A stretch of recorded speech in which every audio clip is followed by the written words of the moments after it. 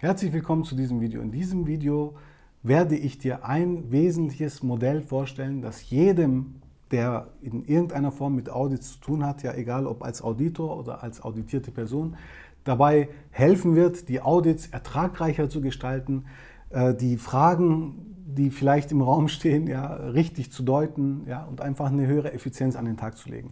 Wenn du dazugehörst, wenn ich sage, dass, dass, dass Auditsituationen ja oft mal so Fragen ins Feld rollen, ja, die man nicht so wirklich versteht. Ja, wenn, wenn du schon mal die Situation hattest, dass dein Auditor von jetzt auf nachher total austickt, ja, vielleicht, äh, und du dich fragst, hey, warum, warum ist der jetzt so aggressiv geworden oder so, ja, äh, dann bist du bei dem Video hier äh, total angesprochen. Ja. Warum? Weil es auf jeden Fall Systematiken gibt, weil es Modelle und Systeme gibt und auch Anleitungen gibt, wie man mit solchen Situationen umgehen kann, was man in solchen Situationen lernen kann, wie man solche Situationen auch managt ja, und was eigentlich hinter diesen äh, Situationen auch liegt. Ja. Also das ganze Verständnis rundherum, kurz gesagt. Ja.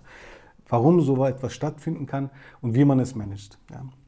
Hier werde ich dir das sogenannte Vier-Ohren-Modell von Schulz von Thun vorstellen. Ja, nicht so im Detail, dass du sagst, es ist schnarch langweilig. Ja. Es gibt unterschiedlichste Videos auf YouTube. Ich werde dir später auch welche verlinken, ja, für den Fall, dass du letztendlich auch dich da reingraben möchtest in diese Thematik. Aber ich beziehe mich hier in dem Video ausschließlich auf die Auditsituation und wie das Vier-Ohren-Modell hier in den Audits dir dabei helfen kann, die Audits besser zu verstehen und diese dann entsprechend ertragreicher zu gestalten. Bleib auf jeden Fall dran, ist total spannend. Eine der wichtigsten Themen, finde ich, äh, wenn ich so meine ganze Videolandschaft anschaue. Das Thema Kommunikation und richtiges Zuhören ist und bleibt die Basis eines guten Audits. Bis gleich.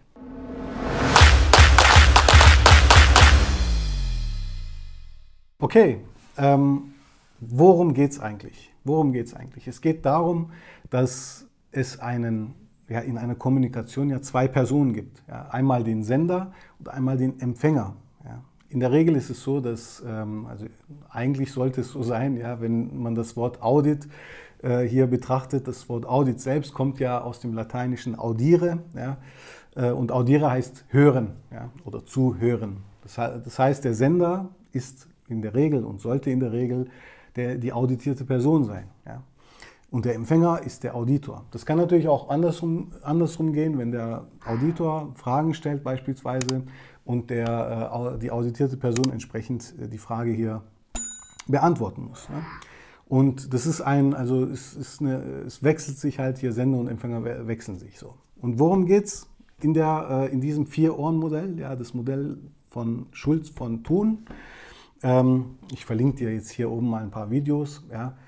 Äh, kannst du auf jeden Fall mal anschauen äh, später. Da geht es tiefer in die Sache rein. Ja, wenn, wenn dir das Modell jetzt nach diesem Video immer noch nichts sagen sollte, dann hast du auf jeden Fall die Möglichkeit, hier weitere Informationen einzuholen. Ja. So, aber worum geht es? Also zwar innerhalb einer Kommunikation werden ähm, Worte kommuniziert. Richtig, richtig. Das heißt, ich denke etwas ja, und ich äh, verpacke mir das in irgendeine Satzform, ja, die ich für angemessen halte äh, und dann kommuniziere ich diese Worte. Ja. So, in dieser Kommunikationsleitung werden meine Worte äh, gehört, ja, von meinem Empfänger quasi äh, und entsprechend ausgelegt. Ja. So, was sage ich jetzt was sagt er mir jetzt im Moment? Ja? Und, äh, und das äh, rattert dann und dann äh, antworte ich zu dieser ganzen Geschichte. Ja? So, jetzt äh, ist halt die, sind, gibt es im Rahmen dieser Kommunikation unterschiedliche Kommunikationsebenen, die sogenannten. Und, äh, und in diesem Modell, in diesem Vier-Ohren-Modell, kannst du dir vielleicht denken, gibt es vier unterschiedliche Ebenen, auf denen kommuniziert bzw. zugehört wird. Ja? Gesagt und zugehört wird. So. Jetzt kann es natürlich sein, dass man auf einer Ebene miteinander kommuniziert. Das passt. Also äh, ich habe jetzt vier unterschiedliche äh, Datenleitungen, sagen wir es mal technisch, ja. Äh, und, und am besten und effizientesten funktioniert es ja, wenn ich mich committe auf eine Kommunikationsebene und, und ständig auf dieser Ebene miteinander kommuniziere. Dann wird es keine Konflikte geben. Ja. warum? Weil das, was ich sage, auch so aufgefasst wird. Ja. Ähm, und Konflikte kommen dann zustande, wenn man nämlich hier diese ähm, Kommunikationsleitungen durchmischt. Ja. Der eine kommuniziert hier auf der ersten Leitung und äh, das Gegenüber ja, hat hier die vier Leitungen und, äh, und hört dann mit der vierten Leitung zu. Ja. So. Und das äh, führt zwangsläufig zu Konflikten. Und ich erkläre dir jetzt auch gleich, warum. Ja. Und was es mit diesen vier unterschiedlichen Leitungen auf sich hat und was diese eigentlich darstellen. Ja. Du hast insgesamt vier Ebenen und die erste Ebene, Ebene Nummer eins, ist die sogenannte Sachebene. Ja, das heißt also furztrocken, super, null Emotionen in dieser Ebene, ja, eine Sachebene. Ja. Wie zum Beispiel, wenn wir jetzt äh, im, in einem Audit, in eine Auditsituation uns äh, reinversetzen, ja, du hast jetzt deinen Audittermin und dein Auditor sitzt dir gegenüber, ich sitze dir gegenüber und frage dich, wann haben Sie Ihr Management Review durchgeführt, das letzte Management Review durchgeführt. Ja. So, ähm, jetzt ist, scheint ist es wahrscheinlich die meisten klar, was ich haben möchte. Ja, und zwar eine Antwort äh, darüber, wann dein letztes Management Review stattgefunden hat. Ja. Ähm, denken viele. Ja. Wenn wir auf der Sachebene bleiben, dann wird die Antwort heißen, am zum Beispiel 19. November 2019. Ja? Somit hast du dann letztendlich meine Frage, meine sachliche Frage, sachlich beantwortet. Ja? Kein Konflikt. Jetzt kann es aber durchaus sein, äh, und, äh, dass ich eigentlich mit dieser Frage nicht nur das Datum wissen wollte, ja? sondern äh, dass ich beispielsweise, ähm, und jetzt kommen wir auf äh, die zweite Ebene zu sprechen. Also halten wir hier an dieser Stelle fest. Ebene Nummer eins ist die Sachebene, das habe ich vorhin schon gesagt. Ja? Sachebene, Ebene Nummer eins. Jetzt kann es aber sein, dass ich, dass ich diese einfache Fragestellung auch als Selbstoffenbarung, das ist die Ebene Nummer zwei, ja, die Ebene Nummer zwei ist die Selbstoffenbarungsebene, ähm, gemeint haben könnte. Ja. Das heißt, ich gebe durch, diese, durch diesen plumpen, einfachen Satz, ja, Wann haben Sie Ihre letzte Managementbewertung durchgeführt? Gebe ich etwas von mir preis? Ja? Und zwar erstens, dass ich generell denke, dass Managementbewertungen durchgeführt werden sollten oder müssen. Ja? Und laut Norm ist es ja auch tatsächlich so. Äh, in welcher Form, in welcher Art, das ist einmal dahingestellt. Also meine Selbstoffenbarung heißt, ich erwarte, ich denke, dass Managementbewertungen immer durchgeführt werden müssen. Und zwar auch in regelmäßigen Abständen. Deshalb auch die Frage nach dem Datum. Ja. So, das ist also eine, eine, die Kunst, die Kunst letztendlich, ja, diese Frage, diese so einfache Frage nicht nur auf der Sachebene äh, zu begutachten, sondern auch äh, weiterzugehen und zu, und zu hinterfragen, was steckt denn noch dahinter, hinter dieser, dieser Frage. Und die, äh, wie gesagt, die zweite Ebene ist eine Selbstoffenbarung, dass ich erwarte und denke, dass Managementbewertungen erstens durchgeführt werden müssen und zweitens ähm, regelmäßig durchgeführt werden müssen. Ne? Deshalb das Datum oder zeitnah durchgeführt werden müssen. Auch da bleiben noch Fragen offen. Aber diese zwei Dinge, die offenbare ich jetzt als Auditier, Auditor ne, äh, entsprechend von mir. Ja. Das ist die zweite Ebene. Ja. Jetzt kannst du natürlich dazu, darauf Stellung beziehen ja, und sagen, ähm, ja, bei uns werden Managementbewertungen regelmäßig durchgeführt äh, und, ähm, und dann die Sachebene anknüpfen, ja, zuletzt am 19. November 2019. Ja, jetzt, hast du, jetzt bist du einen Schritt weiter gegangen. Ja, du hast also sowohl die Sachebene bedient, ja, das Datum genannt, als auch hast du nochmal klargezurrt, ja, klargestellt, dass äh, Managementbewertungen selbstverständlich bei euch durchgeführt werden und selbstverständlich auch in regelmäßig geplanten Abständen durchgeführt werden. Ja. Und schon hast du viel mehr geliefert, als, äh, als wenn du jetzt nur eine einzige Ebene ins Spiel ähm, ziehst. Ja. Also du wirst kein Audit ähm, haben oder gehabt haben, wo der Auditor allein mit der ähm, Frage nach dem Datum entsprechend äh, mit dem, der Datumsangabe, der Datumsantwort sich zufrieden gibt. Ne? So baust du schon vor, als auditierte Person, dass du, dass du letztendlich diese Fragen, die jetzt noch im Raum stehen, quasi abwimmelst. Aber ich habe ja schon gesagt, es sind vier Ebenen. Wir haben also noch zwei Ebenen. Ja? Was kann es denn bitte noch sein? Es ist doch so eine einfache äh, Frage, so eine einfache Frage und trotzdem gibt es noch zwei weitere Ebenen. Also lass uns gleich gucken. Ebene Nummer drei, das ist die Beziehungsebene. Ja? Es gibt auch eine Kommunikationslinie äh, auf Beziehungsebene. Ja? Und was könnte das denn bedeuten? Nehmen wir uns wieder diese Frage. Ne? Wann haben Sie Ihr letztes Management Review durchgeführt? Das war die Frage. Ja? So, und wenn wir jetzt diese Beziehungsebene zugrunde legen, ja, dann kann man rein interpretieren, ja, dass der Auditor von dir, ja, von dir als Unternehmen oder als auditierte Person ähm, ein Bild hat, ja, eine, äh, ein Bild hat, ein, eine Meinung hat, ja, äh, dass es ihm quasi ermöglicht zu sagen und zu fragen, wann dein Management Review durchgeführt worden ist. Ja.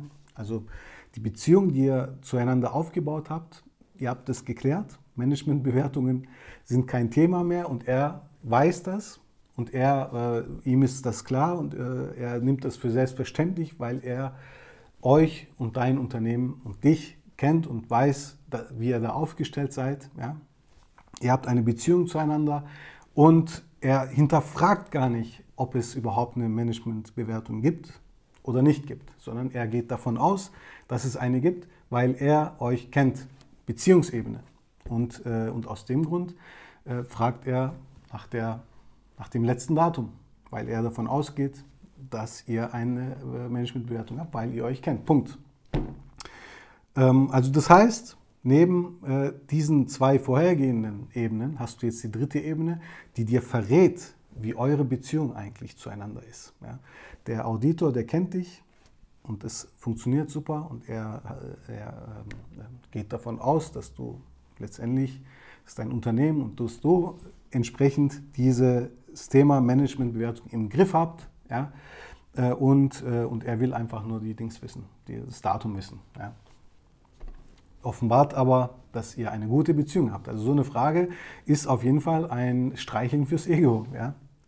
Genau, jetzt lass uns noch gucken, jetzt gibt es tatsächlich nochmal eine vierte Ebene. Ja? Und da sind also viele, viele, viele, viele Konflikte, die ich schon so in, äh, in, in, in, meinen Audits, ja, in den Kombi-Audits, muss man sagen. Also auch mir passiert diese äh, Kommunikations-Konfliktsituation äh, oft mal. Ja, also das ist überhaupt kein Thema, besonders bei Unternehmen, die man jetzt so neu kennengelernt hat. Ja, wenn man sich noch nicht kennt, dann äh, passieren solche Konfliktsituationen. Aber es ist natürlich ja, von Riesenvorteil, wenn man äh, diese Konfliktsituation an sich erkennt und gleich äh, entgegenwirken kann. Ja? Das ist, also deshalb ist es so unheimlich wichtig, jetzt diesen vierten Punkt, diese vierte Ebene entsprechend auch äh, ähm, ans Herz zu legen. Ja?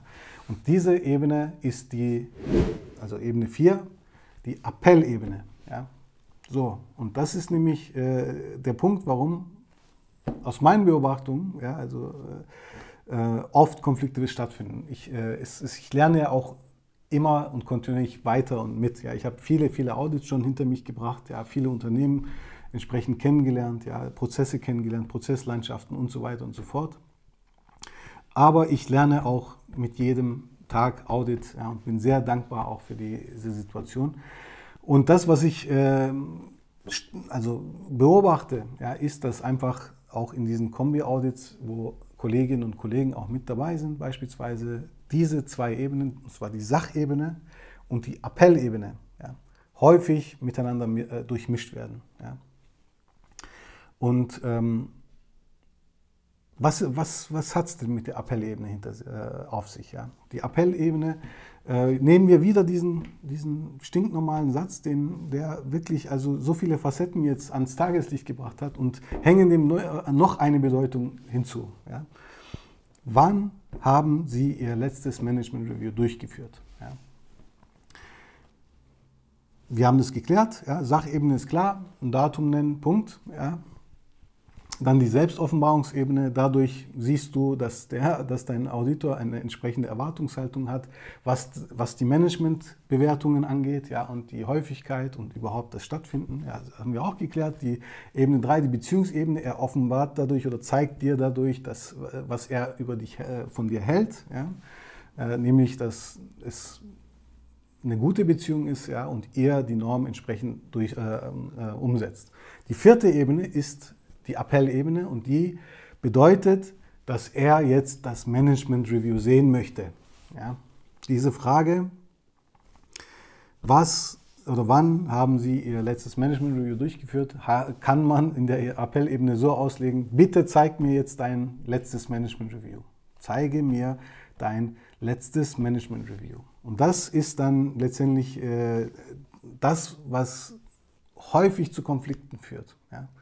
Häufig, weil ähm, oft ist es so, dass der, die auditierte Person, besonders wenn man sich noch nicht kennt ja, oder vielleicht schlechte Erfahrungen hatte in früheren Audits mit anderen äh, Auditsituationen, auch Kundenaudits zum Beispiel, äh, die eine andere Gangart haben, ja, und einfach für sich die äh, Erfahrung gemacht hat, hey, ich bleibe auf der Sachebene in den Audits und gehe da gar nicht in die Tiefe. Ja? Ich will mich ja nicht angreifbar machen zum Beispiel. Ja?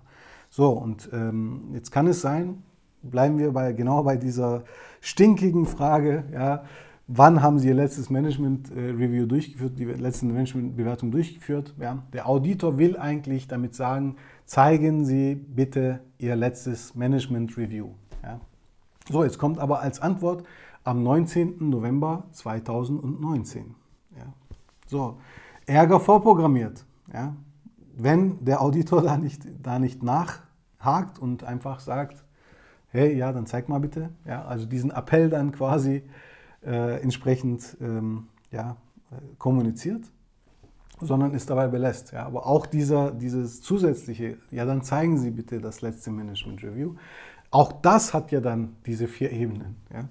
Und also Kommunikation kompliziert. Kompliziert, aber total spannend. Also ich genieße es ungemein, wenn ich unterwegs bin, in größeren Auditgruppen beispielsweise äh, und, äh, und, man Kombi-Audits durchführt, also auch Termine hat, wo man äh, zusammen unterschiedliche Normen rein auditiert beispielsweise ähm, und dann feststellt, hey hoppla, die haben jetzt gerade ein Kommunikationsthema, ja, äh, der, der, will eigentlich jetzt nur das Management Review sehen und äh, der äh, Auditierte, der fühlt sich jetzt angegriffen, ja, oder ähnliches. Äh, und das sind halt so Dinge, die muss man ähm, unheimlich geschickt managen. Ja. Und, und dieses Modell, dieses Vier-Ohren-Modell von Schulz von Thun, ja, hilft einem unheimlich dabei. Also vor Jahren habe ich das, bin ich drüber gestolpert, im Rahmen eines Seminars war das gewesen. Sogar, ich glaube, bei der BG, ja, wenn ich soweit ich mich erinnern kann, ähm, genau, im, im Rahmen meiner Sicherheitsfachkraftausbildung. Äh, und das hat mir unheimlich viel, unheimlich viel gebracht, ja, weil, ich, weil ich mit offeneren Augen in die Audits gegangen bin, weil ich gesehen habe, wie die Menschen, was, sie, was, die, was die Menschen bedrückt eigentlich, ja, was sie eigentlich wollen, ja, wie äh, das Thema war. Oder man, man konnte dann richtig rausfühlen, ja, also diese Empathie, die man dadurch dann auch gewinnt, rausfühlen, dass zum Beispiel in früheren Audits schlechte Erfahrungen gemacht worden sind. Ja. Äh, oder ähm, dass einfach gewisse Konfliktsituationen vorherrschen. Dass es vielleicht kein Management Review gibt, denken ja viele dann. Ja. Äh, nur, weil, nur weil zum Beispiel der, die auditierte Person das Management Review nicht vorzeigt, heißt es ja noch lange nicht, dass es keins gibt. Ja. Und man muss halt eine gewisse Technik entwickeln und anwenden, ja, auch im, im Rahmen der Kommunikation, um genau diese Informationen dann auch ähm, abgleichend in der Kommunikation ähm, einzusehen. Ja. Und die Wahrscheinlichkeit, dass Managementbewertungen nicht stattfinden, ist also gegen Null. Ja. Die Frage ist nur, an welcher Stelle finden die statt und in welcher Intensivität, äh, Intensität, Intensivität, Intensität und in welcher Form. Ja, sind alle Anforderungen der Norm entsprechend abgewickelt worden und so weiter und so fort. Das sind Dinge, die man dann klären muss. Ja. Und dieses Kommunikationsmodell, ja, das Vier-Ohren-Modell wird dir definitiv dabei helfen, egal ob du jetzt der Auditor bist, ja, äh, in internen Audits zum Beispiel, ja, das, spielt das genauso eine Rolle äh, wie in externen Audits, oder ob, die, ob du die auditierte Person bist. Ja. In, jedem Fall wird dir dieses Modell helfen. Ich fasse jetzt nochmal ganz schnell für alle zusammen. Im Rahmen der Kommunikation, die zum Beispiel auch in Audits stattfindet, ja, existieren vier Kommunikationsebenen. Ja. Und wichtig ist, dass man erkennt, auf welcher Ebene momentan kommuniziert wird und wie es verstanden wird. Ja. Und um, um, gewisse Konflikte zu vermeiden, um, um gewisse ähm, ja, Missverständnisse äh, zu vermeiden und denen vorzubeugen. Ja. Deshalb ist es wichtig, wenn du jetzt etwas, einen Satz hörst, dich nicht zu versteifen auf eine einzige ähm, äh, Meinung, die da im Raum ist, eine einzige Variante, die da im Raum ist, wie man diesen Satz verstehen kann, sondern hinterfragst, welche weiteren Meinungen und Auslegungen dieses einen Satzes kann es geben. Wir haben in diesem Beispiel jetzt einen Satz gewählt, ja, wann wurde Ihr letztes Management Review durchgeführt. Ja. Die Sachebene, die äh, Kommunikation auf der Sachebene, die hat eine Antwort, und zwar das genaue Datum zum Beispiel der 19. November 2019. So, ähm, sie bedeutet aber auch, dieser Satz kann man aber auch so auslegen, dass es eine Art Selbstoffenbarung ist. Das ist die Ebene Nummer zwei. Und zwar desjenigen, der gefragt hat. Ja. Das heißt, er erwartet und denkt, dass es Managementbewertungen geben muss und geben sollte. Aus welchem Grund auch immer. Zum Beispiel, weil die Norm es ähm, erfordert. Ja. Äh, das heißt, es ist eine Selbstoffenbarung desjenigen, der da ähm, antwortet. Ja.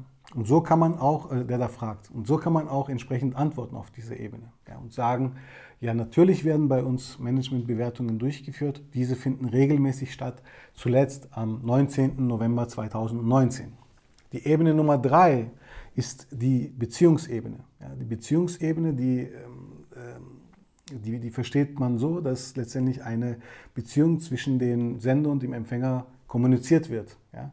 Das heißt, in unserem Beispiel würde das bedeuten, dass der Auditor, das heißt der Sender, davon ausgeht, dass Managementbewertungen regelmäßig stattfinden. Ja.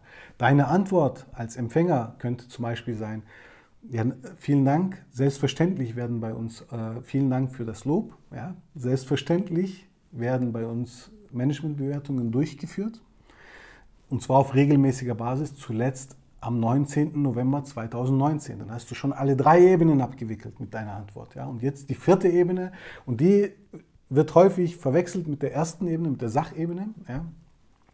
Die vierte Ebene ist die Appellebene. Und in der Appellebene heißt es, wenn wir diesen Satz wieder nehmen, ja, der gleiche Satz, heißt es, zeig mir bitte dein äh, letztes Management Review. Ja? Und das, diese Frage auf allen vier Ebenen beantwortet, heißt, vielen Dank für das Lob. Ähm, selbstverständlich führen wir Managementbewertungen weiterhin durch oder auf regelmäßiger Basis durch. Zuletzt am 19. November 2019. Und ja, lassen Sie uns doch gemeinsam einen Blick drauf werfen. So, und dann hast du alle vier Ebenen entsprechend abgewickelt und ich garantiere dir, wenn du diese vier Ebenen im Rahmen einer Frage, dieser Frage, die auf jeden Fall in deinem Audit stattfinden wird, ja, äh, so bedienst, dann wirst du einen Auditor vor dir haben, der überglücklich ist. Ja. Punkt. Natürlich kannst du jetzt diese und solltest du dieses Modell üben, ja, äh, erstmal richtig kennenlernen. Ja. Also ich habe ja hier wirklich nur dran gestriffen. Es gibt sehr viel Literatur zu der ganzen Geschichte. Ich verlinke dir auf jeden Fall am Ende dieses Videos mal ein Video in, in einen äh, YouTube-Bereich, ja, ein, zu einem YouTube-Video, was ich gut finde eigentlich um das System besser zu, zu, verstehen. Aber du kannst, du solltest jetzt im Rahmen deiner Audits genau diese Vorgehensweise wählen und die Fragen, die dir gestellt werden, äh, hinterfragen auf diese vier Ebenen. Und ähm, ich wünsche dir auf jeden Fall viel Erfolg.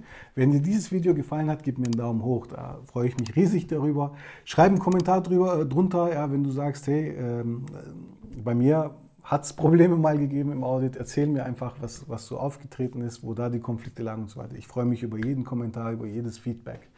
Insofern, ich wünsche dir viel Erfolg bei deinem nächsten Audit. Viel Spaß mit diesem tollen, tollen, tollen Vier-Ohren-Modell. Äh, Schulz von Thun. Bis zum nächsten Video. Viele Grüße aus Düsseldorf.